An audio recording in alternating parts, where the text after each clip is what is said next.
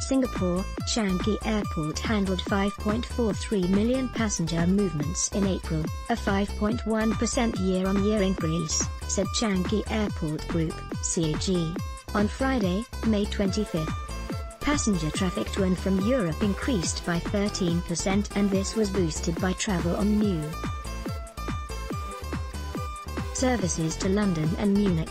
South Asian countries like India and Sri Lanka also registered strong growth, said CAG, while China, Japan and Vietnam saw good growth.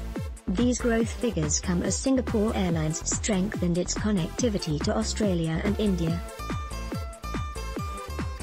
Singapore's flagship carrier increased the frequency of its Sydney service from 33 to 35 times a week, and its Canberra service from thrice weekly to daily.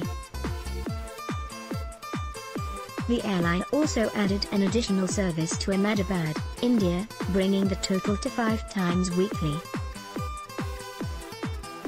Amid higher year-on-year passenger movements, aircraft movements were 4.6% higher at 31,990 landings and takeoffs, while cargo shipments grew 4.5% to 179,410 tons, compared to the same period last year.